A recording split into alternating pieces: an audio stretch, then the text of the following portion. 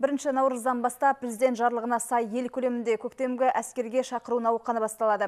Бұл шара маусым айының соңына дейін жалғаспақ. Облыс көлемінде 14 шақыру комиссиясы жұмыс істемек. Оның 12-сі аудандық, біреуі қалалық болса, қалған біреуі облыс көлемінде ұйымдастырылады. Облыстық қорғаныс істер департаментінің жоспары бойынша көктемде өңірдің 600-ге жуық азаматы әскерге шақырылады. Олар тиісті медициналық тексерілістен өткеннен кейін конституциялық борышын орындау үшін еліміздің түрлі өңірлеріне жіберілмек.